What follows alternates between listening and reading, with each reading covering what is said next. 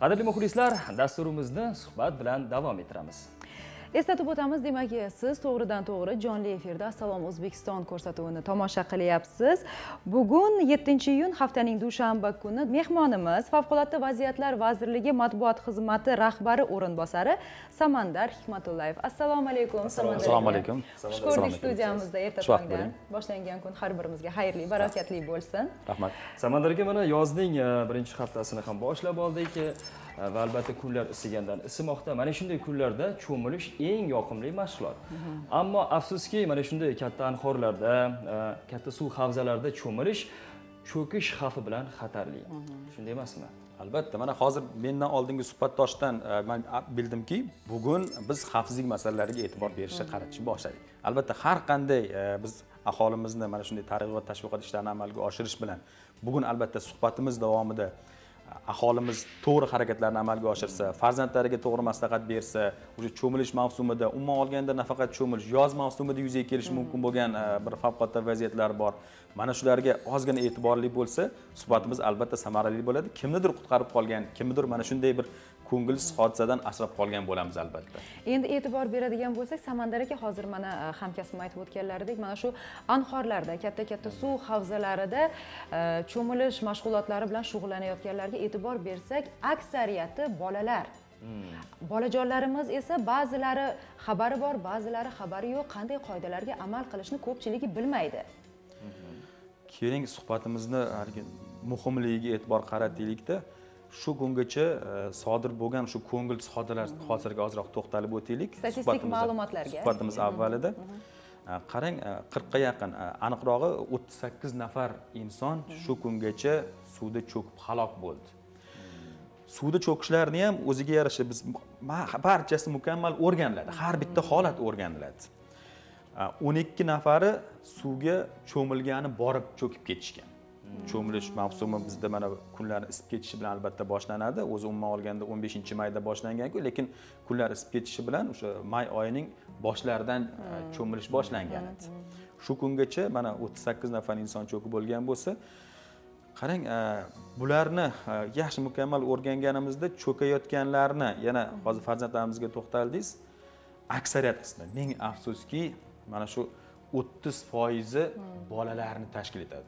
Voyaga yetmagan bolalar. Bu nimadan dalolat beradi? Bu o'sha e, farzandlarimizga ozgina e'tiborsizlik.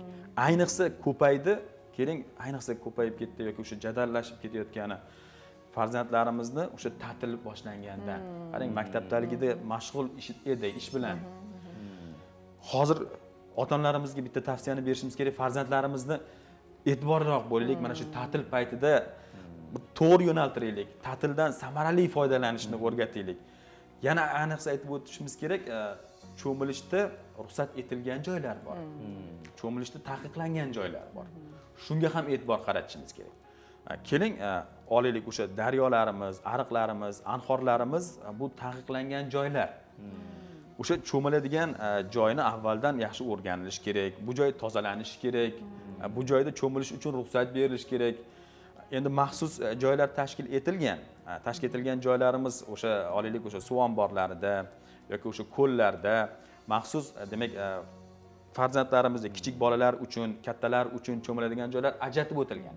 Kichik bolalar uchun o'sha cho'miladigan joy o'sha farzandimizni kichik bolani o'sha bo'yidan kelib bir Sayozroq yetmish sayozroq bo'lishi kerak bir yetmish santimetrlik e, chuqurlikka ega bo'lishi kerak o'zi umuman olganda suvga tushib ketgandan keyin agarda odamni oyog'i shu suv- suvni tubiga yerga tegib turmasa ham sarosimaga kelib qoladida. Cho'kishlarni asosiy sababi mana shu sarosimaga berilib qo'rqib ketishdan.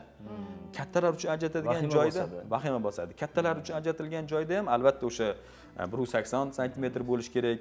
E, bu joyda qutqaruvchi ta'minlanishi kerak nazorat minorasi bo'lishi kerak.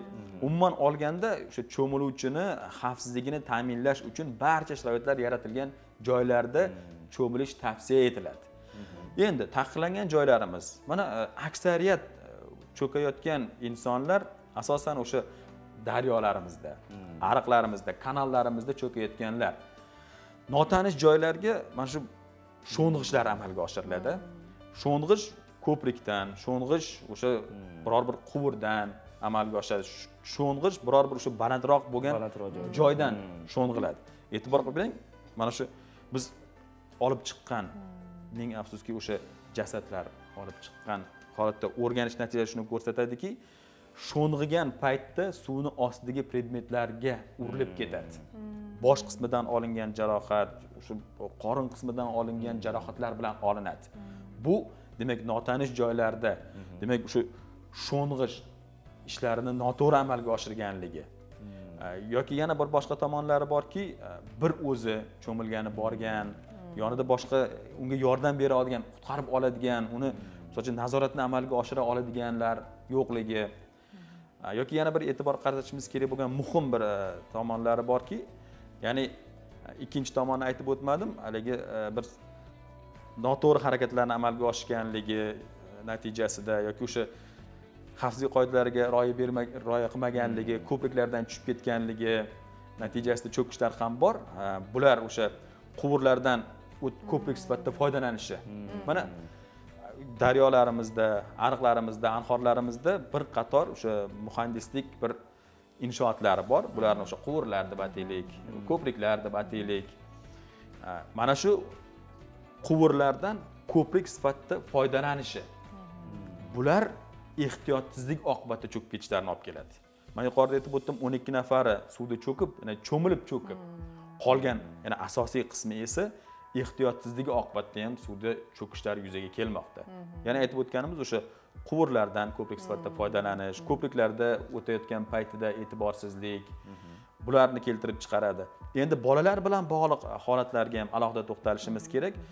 Bolalarni cho'kib ketishiga yana bitta sabablar borki o'sha kichik yoshdagi bolachani o'zidan ozroq e, kattaroq bo'lgan akasiga opasiga ishonib topshiradi. O'zi o'sha akasiga ham opasiga ham e'tibor kerak. Tajribali insonga emas. Qarang mana shunday holatlarda eng e, bir achinarli holatlarni aytib o'tishimiz kerak. Mana shunday holatlarda oilada bir emas bir necha farzandlarni halok bo'lishiga olib keladi. Kichik ukasi cho'kib ketgandan keyin suvga tushib ketgandan keyin. Uni olib chiqaman deb o'zini akasimi topshirib qo'ygan opasimi u ham suvga tashlaydi o'zini. qoidalarga amal qilmay. Uni o'zi ham suvga tashladi mana kichik opasini ukasini olib chiqaman deb uni opasi akasi tushib ketadi. Undan keyin yana boshqa odam. Hattoki shunday bir holatlar yuzaga keldiki bir oiladan ikki uch nafar bu fojia albatta. Uch nafar bolachasini yo'qotganlar bo'ldi. Shu sababdan aytib o'tishimiz kerak ota onalarimizga farzandlarimizni demak yolg'iz qoldirmasligimiz kerak ularni demak layoqatli bo'lgan o'sha ularga qarab tura oladigan o'zini tutib olgan akalariga opalariga shunday bir insonlarga oila a'zolariga topshirsa ishonib unda ancha xavfsizlik masalalari albatta qaralgan bo'ladi. Samandar aka endi mana shunday e, cho'milish vaqtlarida e, menimcha e, birinchi navbatda tajribali inson bo'lishi kerak.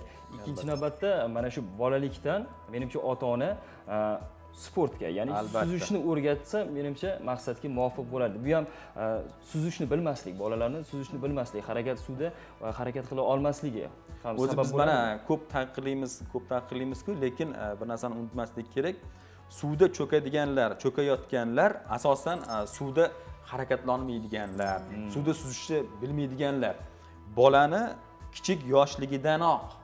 Hattoki o'sha chaqaloqligida suvdan qo'rqitib qo'ymaslik kerak. Ota onalarimiz haligi bolani cho'miltirgan paytda ozroq oyog'iga suvni hmm. kichik o'sha chaqaloqlarni cho'miltirayotgan paytda o'sha paytdan qo'rqitmaslik kerakda hattoki o'sha paytdan boshlab o'sha bolachalarni suvga o'rgatib borish kerak. Ko'nikmalarni shakllantirish o'sha paytdan boshlab. go'dakligidan. Cho'kayotgan shu bolalarda suvga tushib ketgandan keyin u yerda o'sha suvda qo'rqish. Qo'rqish natijasida cho'kib ketadi. Oyog'i suvga tegmadimi endi u vahimaga tushadi. Yoki to'satdan o'sha katta suv havzasiga tushib ketdimi vahimaga tushadi. Agarda inson bolalikdan o'rgatib boradigan bo'lsa yoki boshqa tomonni ham olaylik mana suvda suzganlar buni yaxshi biladi. Odam o'zini suvda erkin qo'yib yuborsa shunday qo'yadigan bo'lsa suvni o'zi yuzasiga hattoki insonni po'kakdek tepaga chiqarib qo'yadi. Suvni yuzasiga chiqarib qo'yadi. Ana vahma. Vahma.